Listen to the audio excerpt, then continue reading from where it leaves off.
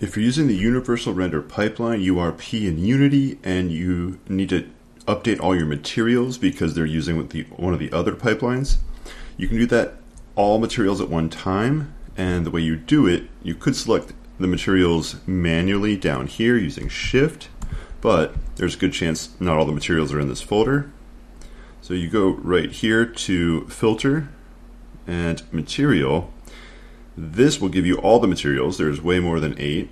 The pink ones are the ones you need to convert, but there's no harm in converting ones that are already working in the universal render pipeline. So just do Control A to select all, or Apple A for your own Mac. Edit, rendering materials, convert selected materials to URP. Uh, hit proceed. You may want to have a backup before you do this because it will change your materials.